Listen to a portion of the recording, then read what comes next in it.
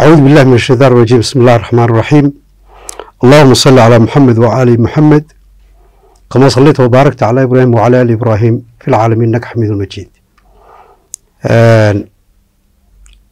mahadnaq ilaahay ka sokow waxaan jecelnahay maanta inaanu halkan ku qabanno barnaamij aanu ugu talagalnay inuu taxano noqdo haddii aan la yidhaahdo oo aanu u bixinay magaciisa maxaa inoo xala marka anigoo ah mustafe cabdilaahi warsame isla markaana ah guddoomiyaha xarunta cilmi baarista aqoonta dhaqanka ah ee loo soo gaabiyo c s d c ama care ideg waxaan jecelnahay afar qodob inaanu halkan aanu ku qabanno oo kii ugu horreeyey maanta aanu insha allah aanu sii deyn doono afartaasi arrimood waxa weeyaan mid amniga qaranka khatar ku ah. Marka waxaanu jecelnahay inaanu ugu horeysi soo horreysiino waxyaalaha laga dhexlo khilaafka ummadii ay iskhilaafto saameynta ay ku leedahay qaranka guud ahaan. Barnaamijka labaad oo maalin dambe aan qaban doono haddii la yidhaahdo waxaan ugu talagalnay in iyagana daraasad ahaan markaanu soo sameynay inaanu iyadana bal wax ka tilmaano taawariska magaalada bartankeeda ku yaalla iyo saameynta ay ku yeelan karaan amniga iyo qeybaha caafimaadka. Ta saddexaad waxaanu jecelnahay in aanu iyadana aanu iftiimino buuraha ku xersan magaalooyinka ee la baabiinayo bal haddana iyagana saameynta ay ku yeelan karaan deegaanka iyo ummadda caafimaadkoodaba barnaamijka afraad oo kaugu dambeeya haddii la yidhaahdo waxaynu nu ka sheekan doonaa dulmiga ummaddu dhexdooda isdulmido iyo wixii laga dhaxlo ee amniga qaranka saameynta uu ku yeelan karo.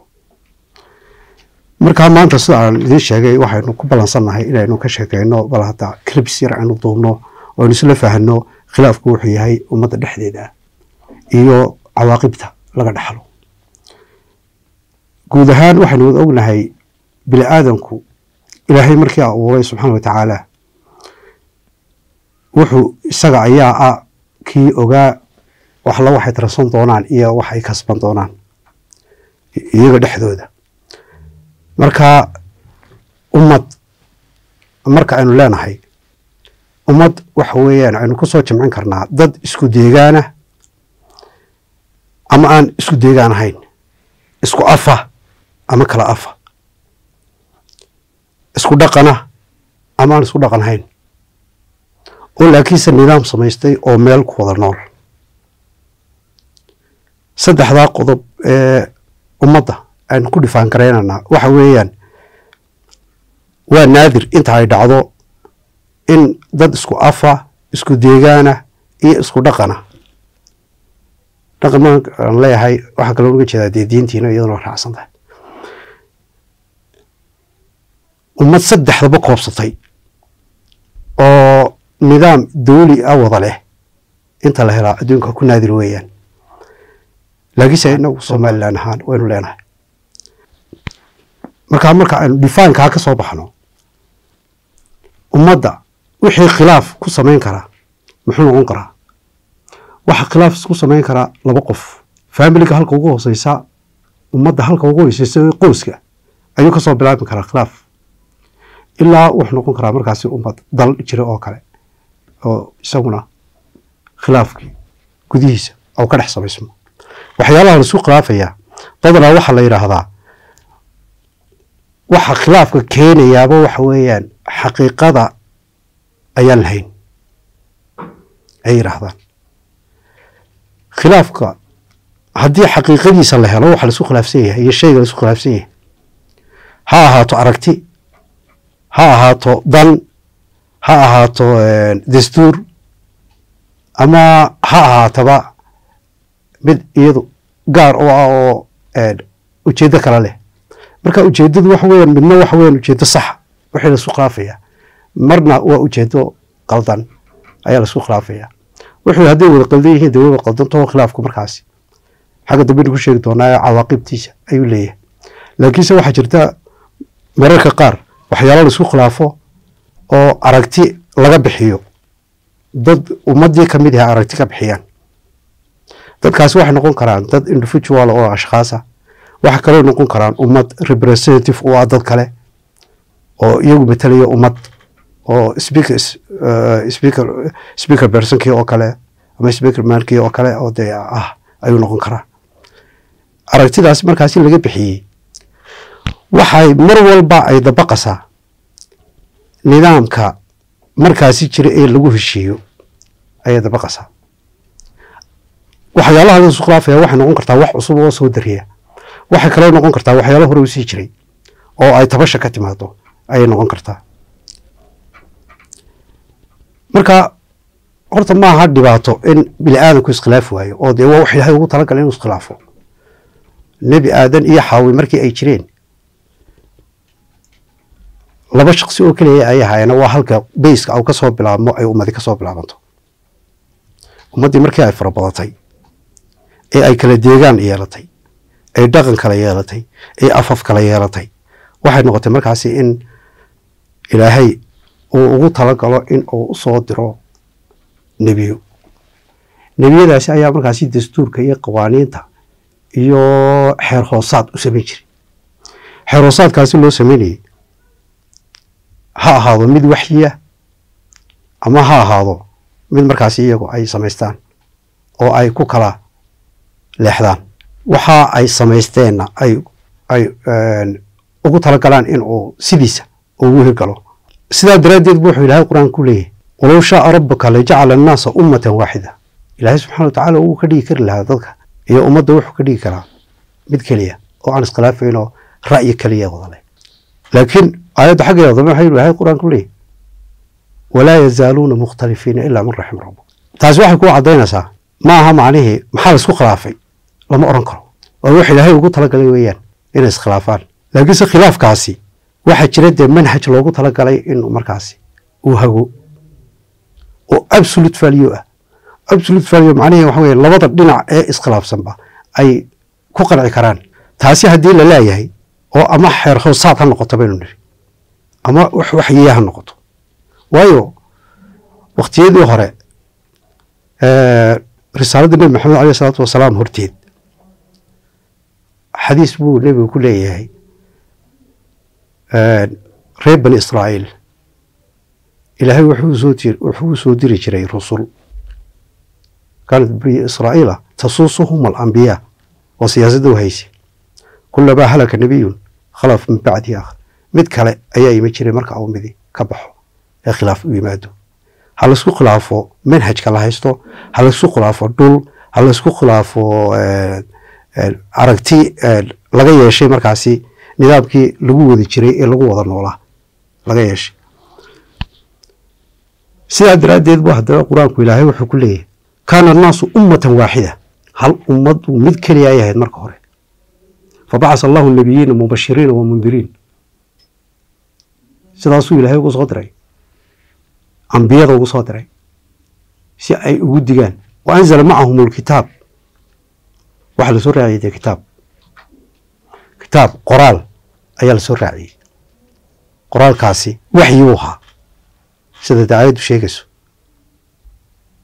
Liyaxkuma bayna annaasi fiima ikhtalafuu fiih. Waxay isku khilaafeen si loogu kala saaro. Waayo khilaafkaasi ay isku khilaafayaan arrin isku khilaafayaan. Noocay doonto ha noqoto. Waa la kala duwaa oo waa la kala qayqaybiyaa category baa loo sameeyaa. Laakiinse waxaan jeclaa anu ina soo koobo. Khilaafkaasi ummadda dhexdooda ah. Waxaa absolute value u ahaa kutubtaasi iyo waxyiga ambiyada loo soo diri jiray. Haddaba iminka innaga maadaamuu nebi maxamed yahay khaatim alambiyaa walmursaliin nebigii ugu dambeeyey ambiyada ilaahay soo dirayay ummadaha waxa loo soo diri jiray qowmiyadooda oo keliya.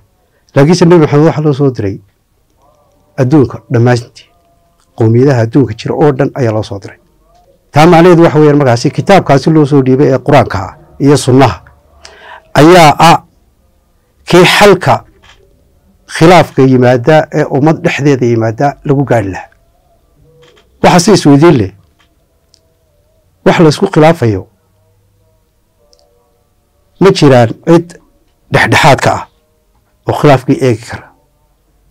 Mase jiraan labadan qof ee iskhilaafsan ama labadan kooxood ee iskhilaafsan ee isku khilaafsan arrin arrimaha ka mida markaasi ay u arkayaan iyagu inay dantooda tahay.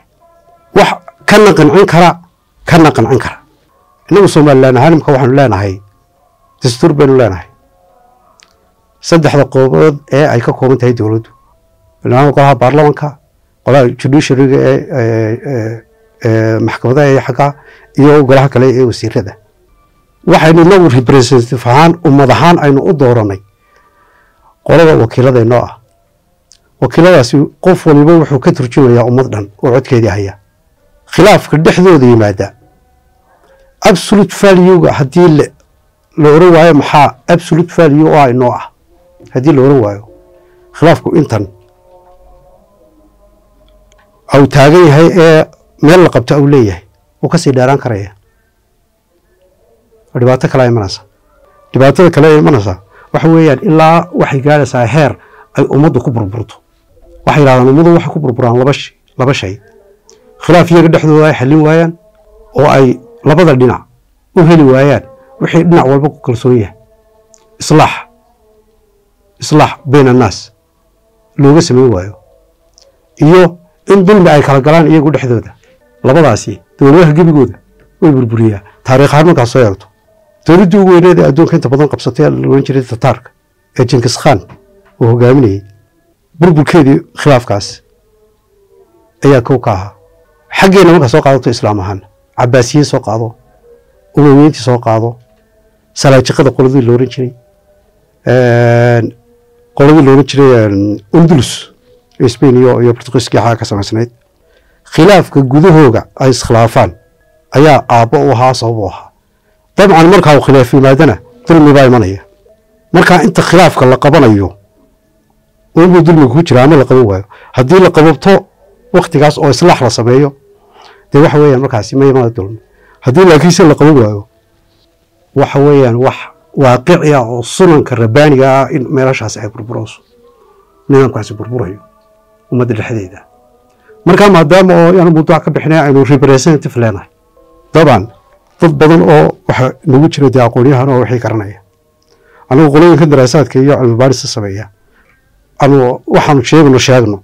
Laakiin maadaama oo ay representativku matalayaan ummadda masiirkeeda ay matalayaan arrin la soo dhigo iyo mooshin la soo dhigo waa lasu qaban karaa laakiinse mooshinka haddii la tabanayo ay wax laga tabanayo oo auna ka tabanayn hal shaksi ay ummad dhani ka tabanayso halkaas in lagu qabto oo islaax la sameeyo ayaa horta muhima haddaba marka aynu intaasi aynu saa u caddayno waxaynu odhan karnaa innaga maxaa inoo dastuura nidaamka iminka adduunku wuu kala duwan yahay nidaamyada ay haystaan dowladdu way kala duwan yihiin laakiinse inagu nidaamka haysanaa waa kee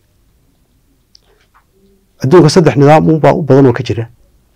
Nidaamka dimuqrasiga layraa iyo nidaamkaasi dee boqortooyada dictatorshipkii waxay ku hoos jiraan. Iyo kaa kale isaguna hanti wadaagga ah. Inagu dhinac ahaan waxaynu leenahay waxaynu qaadanay democracy. Haddana xaqiiq ahaan markaad eegto qaybo ayaynu ka soo qaadanay democracyga qaybana xagga dhaqanka iyo caqiyada aynu aaminsannahay ayaynu ka soo qaadanay qayb laakiinse aynu ka soo qaadanay qaybta saddexaad. Ma jiraan. Aan idhaahdo qaybtaasi dictatorshipka qaybaynu ka soo qaadanay ma jiraan. Haddana waxaynu u baahan nahay markay halkaa taagan tahay waxaynu u baahan nahay inaynaan oran waxaynu qaadanay nidaam dimuqrasi ah nidaamka dimuqrasiga ah saddex qodob ayayna iska waafaqayn xaggeenna xagga astaanta qaran ahaan aada leedahay horta ku waafaqi mayso. Dimuqrasi xagga dhaqan ahaan iyo diin ahaanna ku waafaqi mayso. Dimuqrasiga waxaa samaystay dadkaasi westranka oo inta ay isbaabiyeen ay gamis ka siiyeen ayay waayeen wax allo waxay xal ku samaystaan. Maxaa absolute value inoo ah ay yidhaahdeen. Way waayeen dabeedna absolute valuegi markii ay waayeen waxay samaysteen nidaam. Ay yidhaahdeen dimuqrasi nidaamka dimuqrasiga ah ayaa dabadeedna ay dabaqeenoo qof walba qasab ku noqotay inuu qaato. Oo macnaheedu tahay ma jiraan wax xaq iyo baadili ma jiraan wax saxa iyo wax khalada ee waxaa jira boqolkiiba koob iyo kontonka haystaa ayaa wuxuu doona ahaadee ayaa la ansixinaya arrinkaasi laysku khilaafay ee laysku hayo boqolkiiba koob iyo konton. Haddii cod ahaan lagu dhiibo oo representativeka dadka u ihi ay ay u codeeyaan ama ummaddu u codayso kaas ayaa hergelaya inagu maadaama oo taasi aynaan waafaqayn qaybo wanaagsan oo xaggana inoo waafaqayaa jira qaybahaasi soo qaadanay oo wayna haysanaa. Laakiin midda muhiimadda iyo waxa weeyaan maxaa absolute value ku ah adiga dastuurkaagan iyo dhaqankaagan iyo nidaamkaaga maxaa u ah absolute value haddii khilaaf dhexdeeda uu yimaado oo aad odhan kartaa xalka aynu ka doonno. Waayo qofna ma jeclo in nidaamka uu samaystay uu ka burburo. Ilaaha koonka samaystay ee ummaddana sameeyey ayaa qur'aankiisa ku sheegaya oo leh walaa yazaaluuna mukhtalifiina ilaa man raxima rabbuk. Cid ilaahay u naxariistay mooyaane kama suulayaan in khilaaf yimaado dhexdooda haddana wuxuu leeyahy walaa tanaasacuu fatafshaluu watadhabu riixukum soo lama markaa waa dembi dabcan in la iskhilaafaa. Dembi weeyaan. Laakiinse goormay dembi noqonaysaa waxay noqonaysaa marka khilaafkaasi sulx ama tanaasul aad samayn weydo labadaa mid inaad tanaasul samayso oo la isku sameeyo tanaasul dadka dhexdooda iyo in islaax la sameeyo uu ahaado waxaasi xeer kuu qoran oo dabaqaya markaa absolute valuegii oo ah kitaabka iyo sunnaha. Markaa waa kan fatafshalu bu ilahay leeyahay. Watadhabu riixukum haddii khilaafkaasi la joojin waayo fashil baa dhacaya. Nidaamka dawligii gubeed ahaan wuu burburaya. Waxaa imanaya dagaalo cadho ayaa imanaysa. Cuqdad baa qof dadka gelaysa. Aakhirka wuxuu ku dambaynayaa burbur. Walaa tanaasacuu fatafshaluu watadhabu riixukum. Xaggeen haddaba u dhaqaanaa marka aynu leenahay sidaas ayay saameynta khilaafku uu leeyahay. Markaynu leenahay xaggee loo dhaqaaqi karaa. Waxaa loo dhaqaaqi karaa xagga ilaahay dee kuu dooray. Adigu waxaa tahay qof muslina oo dhaqan leh oo diin leh oo deegaan leh. Saddexdii shayba waad wadataa. Deegaankii waad leedahay afkii isku af baa tihiin dadkii kula deganaayee dowladda kula lahaa. Dhaqan ahaan waa kula dhaqan saddexdiiba waad koobsatay khilaafka adiga dhexdaada yimaadaa. Waa inaad u samaysaa markaasi xeer hoosaad dabaqaya absolute value wixii ku ahaa oo ah kitaabkii iyo qur'aankii oo kana ku qanci karo kana ku qanci karo. Labadii laakiinse haddii islaax waxa weyaan qeyb saddexaad. Haddii islaaxaasi uu jiri waayo qeyb saddexaad baa imanaysa. Waxaa imanaysaa in fidno ay abuuranto fidnadu kol hadday bilaabantana sida loo soo qabtaa way adag tahay waayo nebi maxamed wuxuu yidhi fidnadu way hurdaa. Ilaahay ha nacdalo ka toosiya oo waxa weeyaan dadku marka ay ummad yihiin ay wada degan yihiin ay wax ku heshiiyaan waxa ay ku heshiiyeen ha ahaado in ay nidaam wada samaystaan ama inay brogram wada samaystaan ama inay dowladnimo samaystaan. Nidaamkaasi lagu heshiiyey ee qoomiyadaha dadkii u ahaa scholariska ama marmuuqiinta u ahaa ama u ahaa madaxda u ahaa ee matelaya ummadda marka ay ku wada jiraan khilaafka dhexdooda yimaadaa weji kaluu yeelanaya. Qofku tabasho ayuu keeni karaa cabashuu keeni karaa waxaas waxaasaan tirsanayaabuu oran karaa. Waa la isdhegeystaa. Marka la isdhegeysto dabadeedna waxaasi ama laga garaabaa ama waxaa la yidhaahdaa taynu ku heshiinay iyo arrintaynu ku heshiinay maaha. Mar walbana wax wanaagsan islaaxa haddii laakiinse taasi ay dhici weydo oo qofku isagu weji kale wejigii oo marka hore ku heshiiyey maaha weji kale uu keeno. Dee waxay soo gelayaan qoladii la yidhi wain daa'ifatani min almuuminiina iqtataluu fa aslixuu baynahumaa waxa bilaabmaya fidno waxaynu cuqdad baa bilaabmaysaa waxa bilaabmaysaa caraa bilaabmaysaa aakhirka dagaal baa bilaabmaya markaa meel laga qabto male laakiinse xalka keliya ee taas qodobkaa saddexaad ee imikaanu ka hadlaynaa waxa weeyaan haddii dilkaasi uu yimaado la isdilo heshiisna meeshii marka hore uu yaal yaalo iyo axdina uu yaallo meeshii. Fa aslixuu baynahumaa marna lagama tegin dhexdooda in la heshiisiiyo oo la soo fadhiisiyo o layaa maxaad tabanaysaa? Weeyaan marka uu sheego qofkaasi markaasi iyo ama qowmiyaddaasi ama ummaddaasi waxay tabanayso ay sheegato. Tanaasulaadka la sameeyo. Haddii laakiinse taasi dhici weydo in la qariyo maaha in loo caddeeyo weeyaan. Oo ummadda loo caddeeyo. Ilaahay qur'aankiisa ayuu ku sheegaya wuxuu leeyahay fa aslixuu baynahumaa fain bagat ixdaahumaa cala alukhraa faqaatiluu alatii tabqi xataa tafiya ilaa amri illah haddii islaaxaasi ay qaadan waayaan waxaa loola dagaalamayaa taa xadgudubay xadgudubka samaynaysa ilaa amarka ilaahay ku soo noqoto. Ma halkii marka hore ay taagneedo axdiga ahayd ay ku soo noqonayso. Waktigii nebi maxamed wafaadkiisii caleyh isalaatu wasalaam waa kii abubakar qabtay. Qaar baa rido sameeyo dee ka baxay. Dagaal buu ku qaaday. Iyaga ayaa dalbaday in dagaal lagu qaado. Sababtu maxay tahay wixii lagu heshiiyey oo ummaddu ku heshiisay islaamku ayay ka baxeen. Oo ay ugu weyneyd diintu ayay ka baxeen. Axdi laga baxana iyaduna waa la mid. Asxaabtii nebiga ayaa intay maka ka timaado iyagoo silsilad leh oo cararaya oo intaa la tumayo oo jirdin lagu samaynayo ayay nebi maxamed u imanayeen dabeedna waxay dhahen waan soo baxsanaye hana celin. Axdina uu dhexeeyey. Hadda eeg waa gaal muslimka isaga isaga isaga hawshiisa ma haynaba.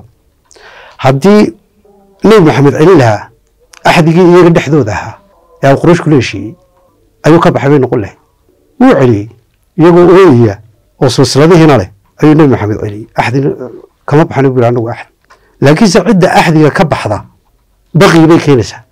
Faqaatilu alatii tabqi xataa tafiya ilaa amri illah markaa weeyaan. Oo halkaas ayay gelaysaa. Marka maxaa xala? Inagu khilaaf mar walba waynu yeelano ilaahay baa nagu sameeyey. Bini aadamku waa kala garaad. Arrin mooshin oo soo dhigay ayaa laga hadli karaa. Oo qof si u arki karaa. Kan kale si kale u arki karaa. Labada aragtiyood ee laga qabo. Waxay iman kartaa in wax la kala tawdo waxaasaan tabanayaa oo ciddaan anu representativeka u ahay waxaasaan ayaan tabananaa qofka kale ayaa odhan karaa ma jirto oo tabashadaasi wax jira maaha. Gacanta saddexaad ee soo gashay islaaxa samaynaysa. Waa inay eegaan iyagoo isticmaalaya kitaabka iyo sunnaha aynu haysanno maxaa diiday? Calankii laa ilaha illaba ku qoran.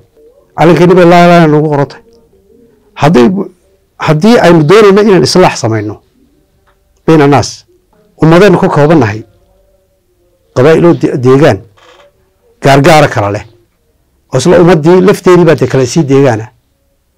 Ummaddii oo guud ahaan dal ahaan aada leedahay ayaa haddana deegaan sii kala ah deegaankaasi qowmiyado iyo qabaa'ilo ayaa kala deganaan kara. Waxbay kala taban karaan. Waxa ay tabanayaan in la soo fadhiiso gacan saddexaad ay timaado ayaa muhima jaamacadeena waxaynu ka dhignaa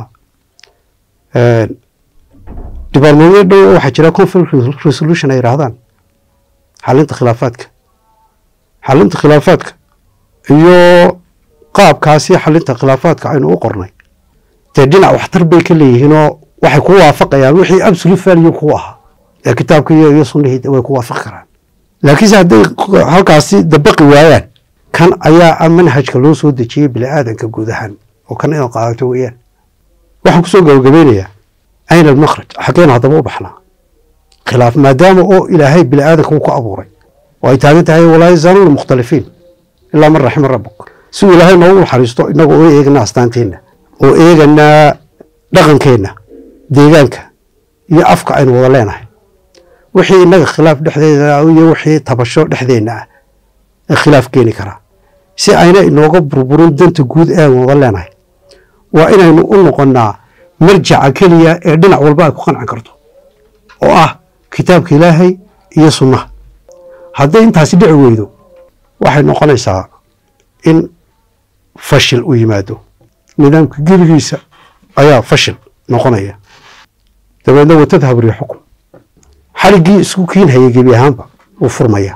Taa haddii laakiinse aynu qaadanno aynu xalino halkaa aynu absolute value u samaysano oo xeerarkeenna iyo iyo dastuurkeenna iyo nidaamkeennan aynu ku maamulano ummaddeenna ay qaataan oo ay ku dabaqaan markaasi wixii absolute value nooha ay ku dabaqaan. Qaybaha kale ee aan dabaqayna iska tuuraan